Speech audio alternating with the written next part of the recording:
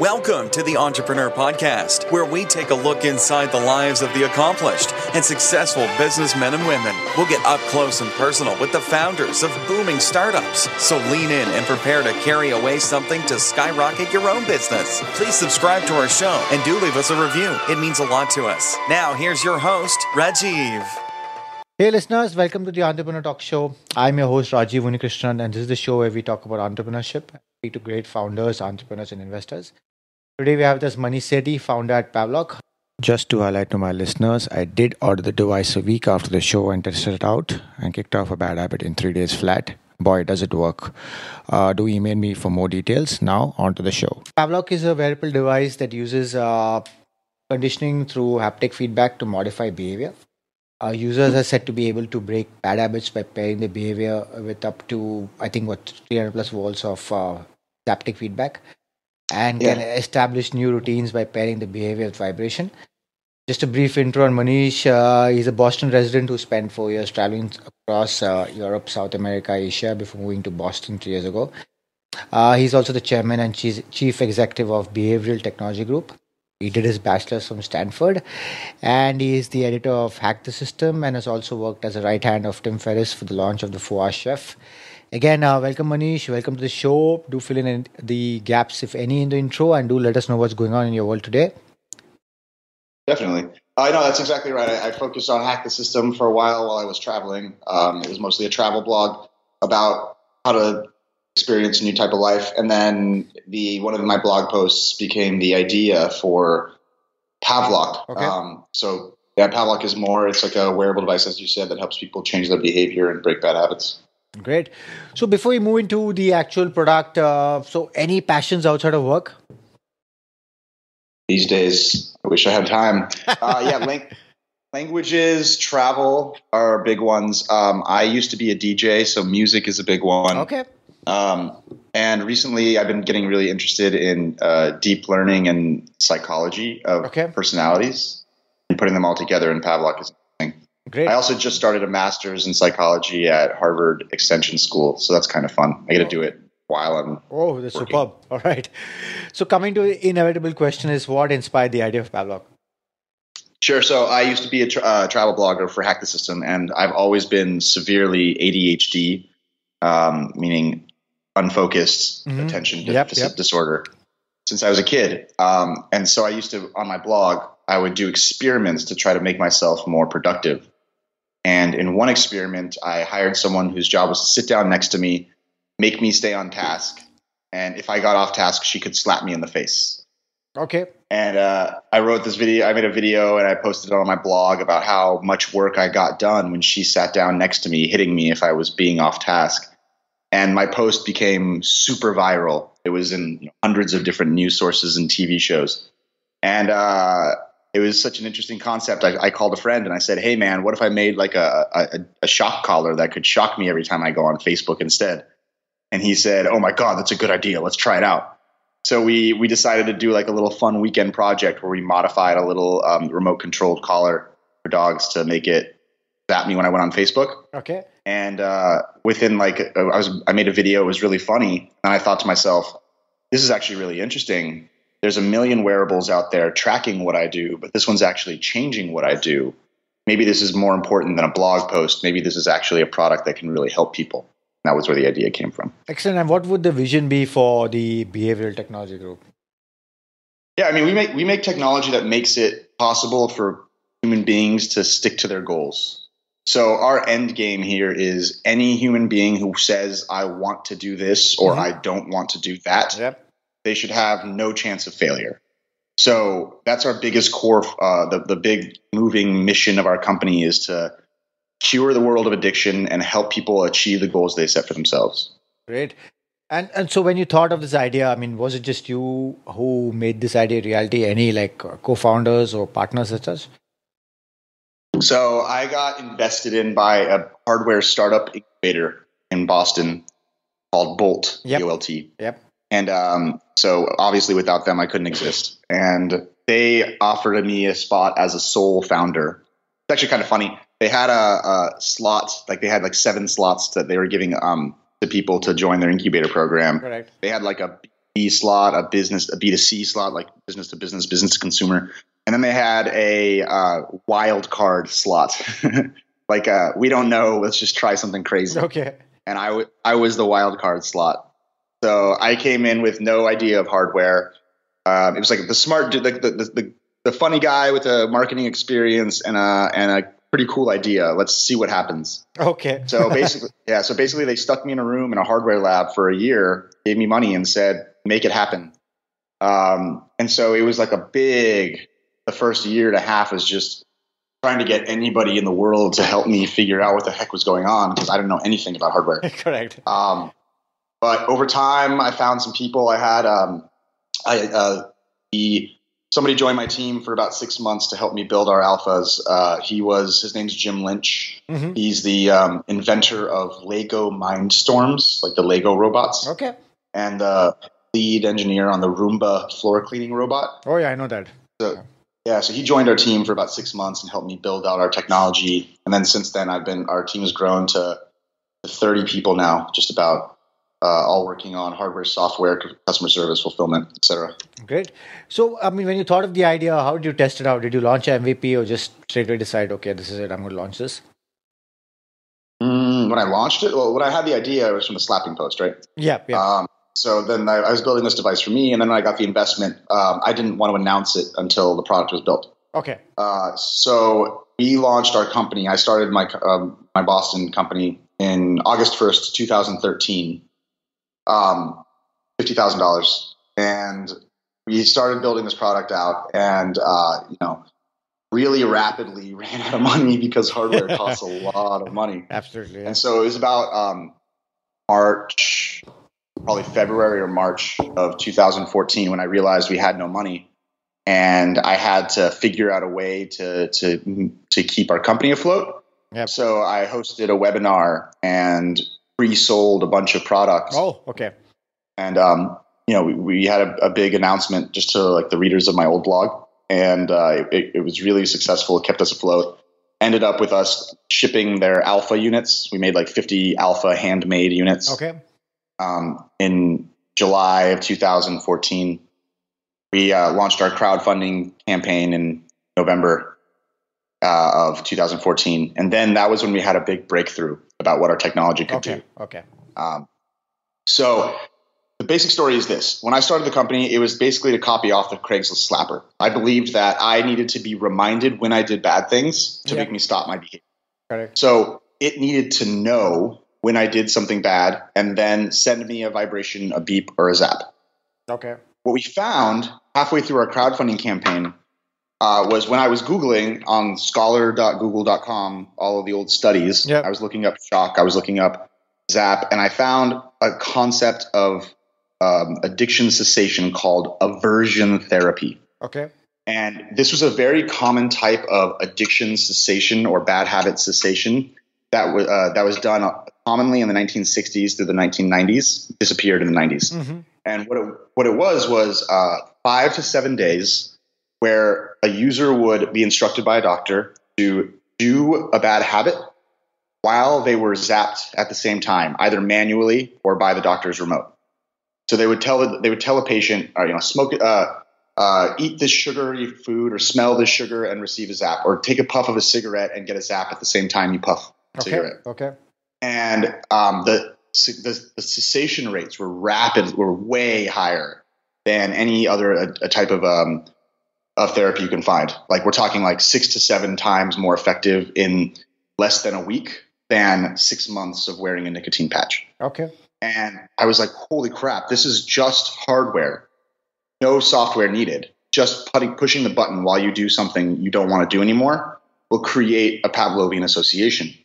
So that was a big breakthrough for us because we realized number one, we didn't need to have the software. You like the software didn't need to know when you were doing bad stuff Correct. Correct. you needed to know and you could train yourself by making yourself do the behavior on purpose for a period of a week and pressing the button while you did it and number two it led to infinite amount of habits because now it's not just about what websites we can track Yeah. now it's about okay you want to quit drinking well drink and press the button do you want to quit biting your nails well bite your nails and press the button and that was a big breakthrough because we, we suddenly realized that we had um, a solution to a lot of bad habits and that there wasn't anything out there to help other people with these problems. Great. So, like, so for our listeners, Pavlok is a band. So when you so when you wear it, so do you have to like manually press the button each time you want to like you do something wrong that you want to get over?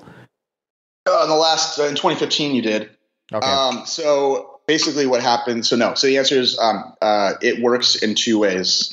So first of all, there's the so there's the wake up mode, and then there's the um, bad habit mode. Okay. So bad habit mode is essentially it's a, a seven day training program.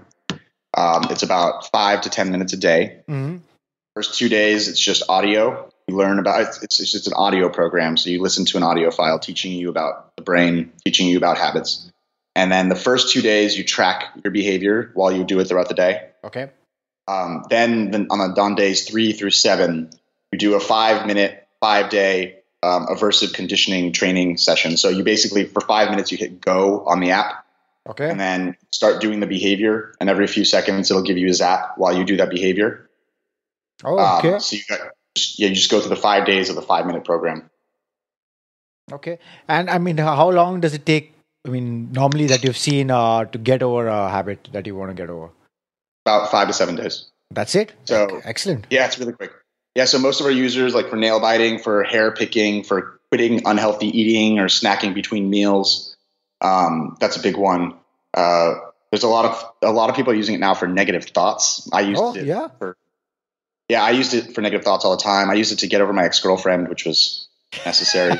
um, yeah, and uh, pretty powerful because really what it does is it's like um, you know, like when you're in a bad mood and then someone's like, "Come on, snap out of it!" Like snap out of correct. it Correct. Correct. Yeah. this is the, this is a button that you can press that snaps you out of it. Okay. And if you look at the brain, it's like most activity is is in the back of the brain where where it's called your reptile brain or your limbic system, where your emotions and your habits live. And most of your time is spent in that like habit mode. So you know when you get sad, you, it's really hard to stop being sad um, because you get into like this mm-hmm. mode. Yep. But the but when you think, like the prefrontal cortex, the prefront, the front part of your brain, that's the part that thinks and responds and is logical. Getting yourself to activate that frontal cortex is really hard. That's why, like throughout the day, you start doing, you know, bad habits. You start Correct, doing things correct. where the zap is like, uh, it's like a shock to the system. It knocks you alert and makes you alert and aware. And it's a really interesting feeling because it snaps you out of whatever you're doing at that moment. Okay. Okay. So you also have a shock clock. Is it is it different or So we changed the name. It's now called the Wake Up Trainer. okay? Okay. Um, Wake up trainer. Okay. And the Wake Up Trainer is the same hardware as the Pavlok. The Pavlok includes the Wake Up Trainer plus the bad habits. okay. Got Um, and the Wake Up Trainer is just the Wake Up plus you can upgrade in the app to the full Pavlok later on. Oh, great. Okay. And the Wake Up Trainer is designed to help people start building their morning routine. Okay. So, wait, sorry, go ahead. No, no. Please go ahead. So the way it works is um, we found that the morning is the part of the of the day where you're most able to achieve good habits, and it kind of sets the stage Correct. for what you want to become. Correct. Uh, so what we've done is we created a wear uh, a device essentially. Um, I mean, the same device. Wear it to sleep. It tracks your sleep schedule. It starts to give you sleep analysis data, and we are trying, and it tries to vibrate and wake you up in your light stage of sleep. Mm-hmm, mm-hmm. So once you're out of bed, we um, we get you out of bed by waking you up at the right time. Then we keep you out of bed, so you have to start doing jumping jacks Oh, to make sure the alarm Okay. the alarm the alarm wakes you up if you don't do the jumping jacks it'll start to zap you um, and then after that we're now triggering it so you you choose the routine you want to form. Like you pick the routine of the person of the famous people in our app. So we're, we're building these right now. So it's like which routine do you want? The einstein the franklin you know you pick like a uh, the routine of some famous person in the past. And um, each in the morning so it's like i wanted to uh, get out of bed and then I want to walk, take a walk outside for a thousand steps, and then I want to sit down and write in my um, on my Google.com docs, uh, and then I want to uh, drink a glass of water. Okay. And so what our app what our app will do is it'll make you get out of bed and start doing jumping jacks. Then it will make sure you start taking your walk. Otherwise, it'll start to vibrate, beep, and zap you. Then after you finish your walk, it'll make sure you start doing um, whatever the next step was, and then it'll make sure that you do your your, your water as well. Um, it, the next step being sitting down in front of your computer. It'll it'll make sure that you're on your laptop on that URL in that web browser. Okay. Um, so what we're trying to do is essentially create a good system that enforces your morning routine. Got it. So, like, uh, I mean, you said it's. I mean, other than habits, is also to get over negative thoughts, etc. So, you have these uh, kind of ideas that people may use to kind of buy this device because I mean, you generally think of bad habits like smoking or biting nails, etc. But you don't think of negative thoughts, etc. So, do you are you putting it out there that people can you use the device for these things also? Yeah, we're always really careful about it because you know you have to be careful. But um, but I mean, we let our users tell their story. Okay. So like, I, I didn't know about the negative thoughts until our users started telling us. Um, and so we've started to see that we're finding the habits that users are using our product for Got are it. very interesting. Got it. Got it. So, I mean, I've read uh, on the net uh, your infamous Shark Tank episode, Turning Down Kevin Leary. So, Uh, for our listeners, I just want them to know how they can react to venture guys. What what was that all about? Yeah. So did you get the chance to see it? I saw a bit of it, but I was in the office, Yeah, so I pretty- didn't. Pretty entertaining. Um, yeah, so I was on a show called Shark Tank. It's one of the most popular shows in America where they have five people and you pitch to them uh, your idea and try to get money. Um, yeah, so if you watch my episode, it was very, very popular in the sense that it was viewed by a lot of people, but um, it was not the most positive. Basically, I turned down Kevin O'Leary. Uh, he he's a um, investor. He's Canadian but lives Yep. in America, yep, and he's kind of rude. Not a very nice guy I know. um, and his yeah so i knew because of the stories i'd read i've seen his videos Okay. online about uh, his investment deals etc and i knew i didn't want to work with him because investment is not about money as much as it is about partnership Correct. and having the wrong partner in a business deal is worse than having a bad wife or a bad Correct. husband Correct. Because like maybe not worse i don't know but like it's like it's possible to escape a marriage but you can't escape a contractual business arrangement you know and so uh and so maybe you can i don't know but it's still a very very bad problem when someone who doesn't share your values is um invested in your company and owns part of it because they, they have control so i turned down his offer and then he yelled at me f you you a-hole f Oh yeah. okay. he cursed at me quite strongly on TV. Uh, so that's what happened. Um, since then, it's the best decision I've ever made was to turn down his his investment. Um, we're gross. We're doing quite well as a company, and uh, I don't have to deal with uh, negative personalities. Have you ever bumped into him or like communicated with him after? no, that? he's in Boston though. He's actually based in Boston. okay. Okay. so I'm like thinking about it. Yeah. yeah, and I mean, any distributors outside of US? I mean, you're selling through different platforms, but any distribution in Asia as such? So actually, recently we've been getting um, a ton of distributors. So we, we just um, we actually turned down a distributorship deal this week. We decided to focus on digital uh, for our sales Okay, this this okay. year, and next year to go into retail. Um, but we be, the reason why is because when you start going into big distributorships, they start having really scary terms. Correct. Like, correct. Like, like Walmart will pay you months after you send them the product. So you know you have to fund the building of the product without having any revenue. Um, so we decided to push that off, and instead we're focusing on um, our own site and online digital sales, things like Amazon, things Great. like uh, okay. Newegg. But what's cool is a couple weeks ago we went we were on um, a Japanese Monday night late night ta- Monday night talk show Mhm. for 10 minutes. They showed our product for 10 minutes. And so ever since then, the ja- like uh, a bunch of Japanese buyers have been buying uh, bulk orders of our product to resell. Excellent. So it's been kind of a time.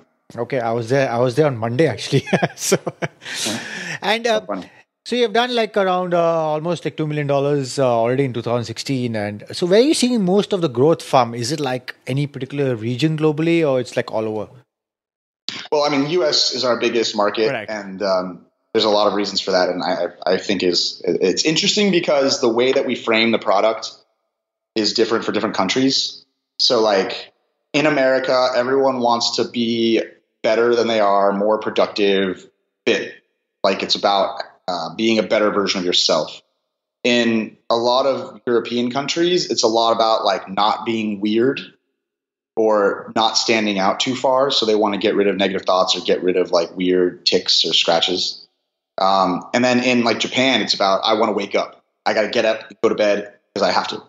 And so we're seeing a lot of growth right now in Japan, of course. Um, our biggest markets are America, Canada, UK, Australia, Singapore recently, actually. Okay. Um, yeah, we did. We started running a couple campaigns, uh, and Singapore was just crushing it. Okay. Uh, and um, what else? Yeah, the, so we, the, uh, those are our big ones right now. Okay. So in terms of competition, I've seen nothing other, other than your comparison with the rubber band. But is there anything else in the market like this?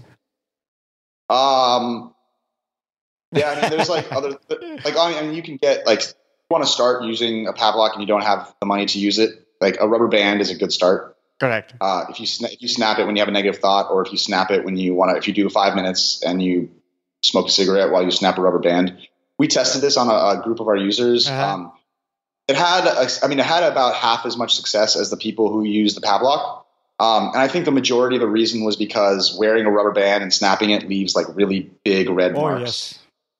Yeah, and it's like kind of yes. So you, you don't want to. Uh, so people would give up um, when they started to bleed. I actually tried that So- for a day after after we fixed up our interview. it wasn't too Oh, yeah. user friendly. the, the rubber band. yeah.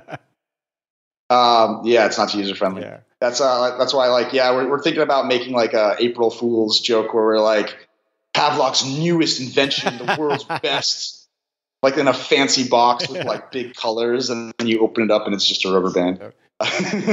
That's true. um, but yeah, yeah. So so I mean, there's we don't have any competition in the like. No, I don't know any. I mean, there's dog collars that shock you. correct. Um, correct. there's shocking business pen, like like business cards and shocking pens and stuff. But um, on the side of aversive conditioning or breaking bad habits, so on the habits angle, there's a lot of competition, right?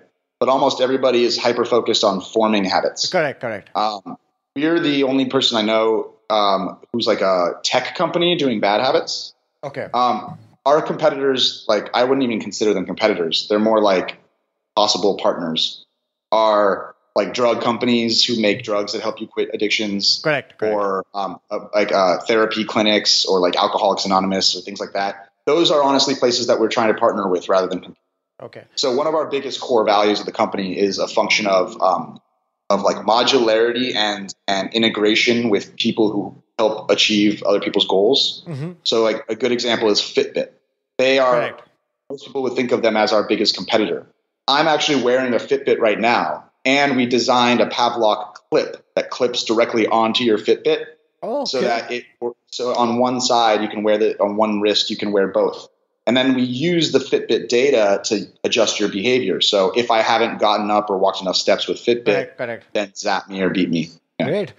So, in terms of funding, you raised money from quite a few prolific founders like Steve Kamb, uh, Matt Kepnes, of course, Ramit, John, Dave Asprey, and more. So, I mean, are you like making enough revenues that you're not going to raise in the near future, or are you planning to raise some more in the near future?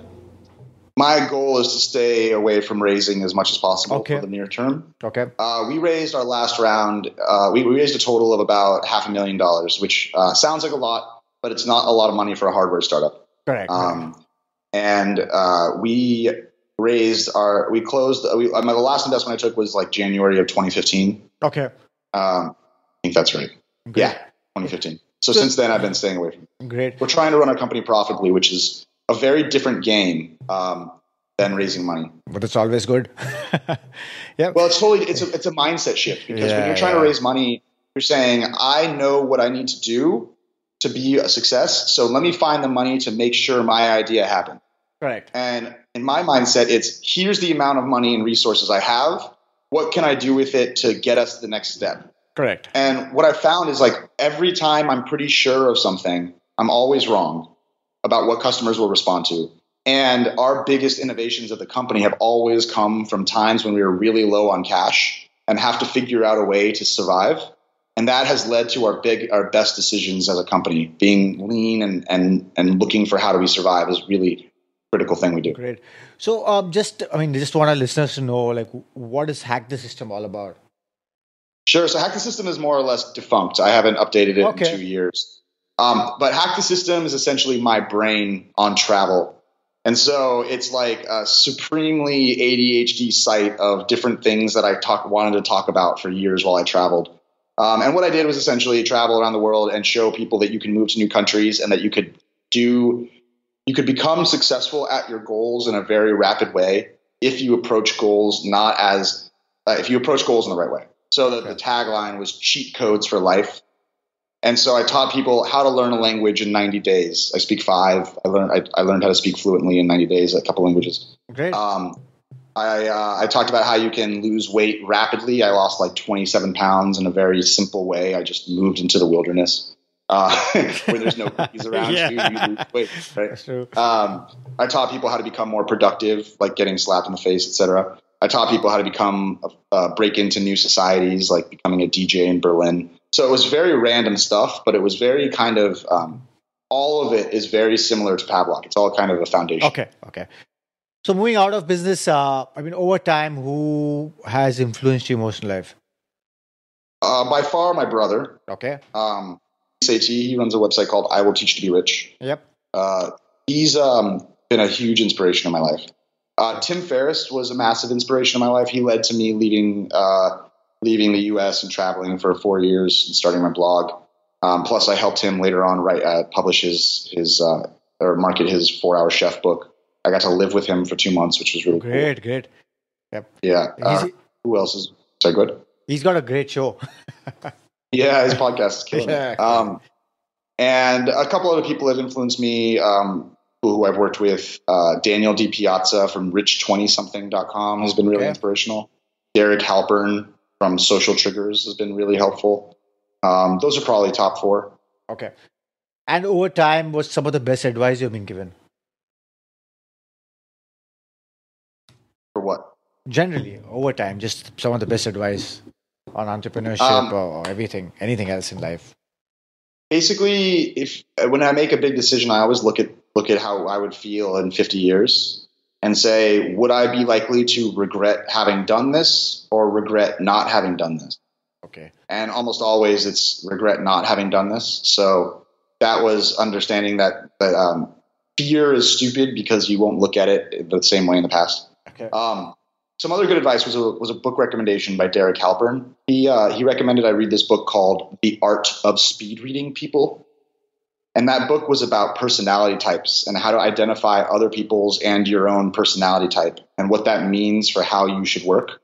Okay. And that book was mind-bogglingly completely changed my life because I com- I understood for the first time why even though I was a failure according to ADHD having a disorder Mhm.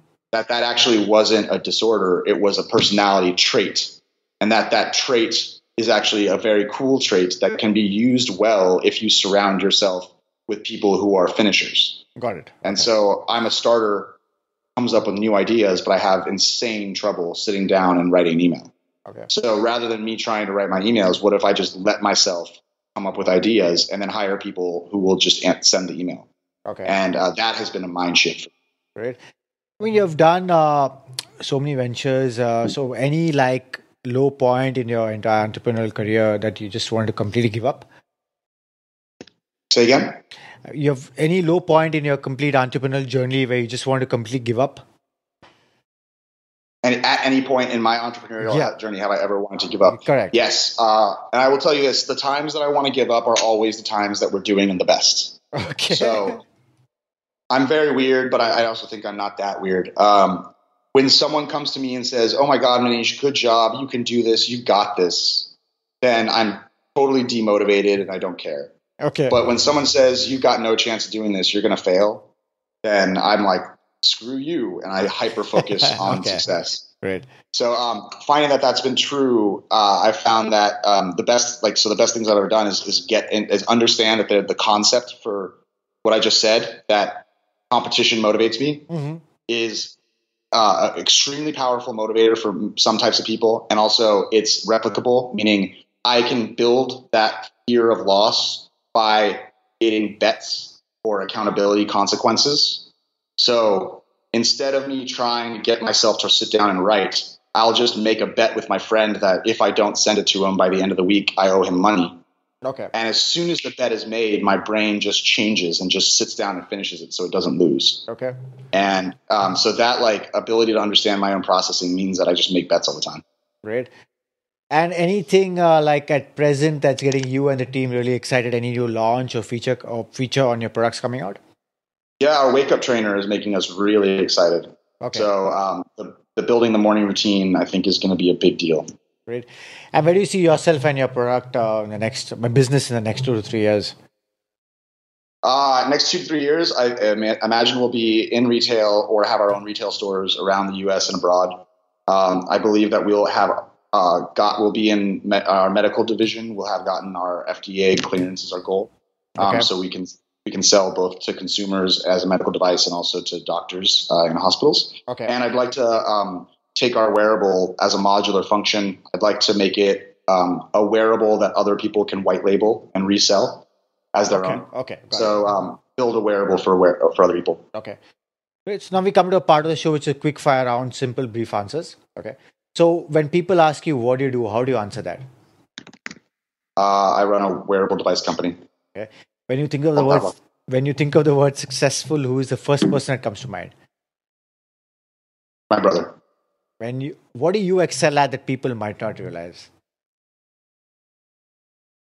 Mm, uh, languages or idea generation. Okay. and what is something you believe in that other people think is totally insane? Personality types. And what would Maneesh's greatest weakness be? Oh, it's a lack of focus. okay. 100%. All right. Uh, I mean, you're in the US, so M commerce or e commerce? Say that again? M commerce or e commerce? It was M commerce. Mobile commerce. So mobile device oh. or uh, for me, or what? Like, I mean, I prefer yeah, desktop, but okay, I prefer desktop, but a lot of our users are mobile. Okay, and favorite city globally? Buenos Aires or Berlin. All right. Finally, any Berlin. last thought or piece of advice that you want to give our listeners? Mm, yeah, um, like take the time and, and read a little bit on personalities. I really think that um, if you feel like you're ever law, like you ever have a conversation with someone and you just don't connect, or you ever try to get yourself to do something and you fail, it's often a um, function of your personality, and it's not that you should. You're just you're trying to make yourself do the wrong thing. You should be focusing on your strengths and finding people to support your weaknesses rather than trying to make yourself do what everybody else does. Okay. And please let our listeners uh, know. Yeah, of course. Yep. Check out Pavlok. All right, of course. and please let our listeners know how they can reach you and also Pavlok.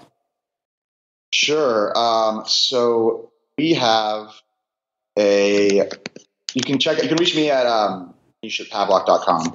And I'm not very good at email, um, so your mileage may vary. But uh, I, I, answer email like once a month. Okay. so um, my assistant does. I think you were in contact with him. Uh, we created for Pav, for uh, for Pavlok. Uh, we've created a discount for you guys. So Great. if you go to pavlok.com slash TAE podcast, pavlok.com slash TAE podcast, you can uh, get a big discount on the Pavlok device.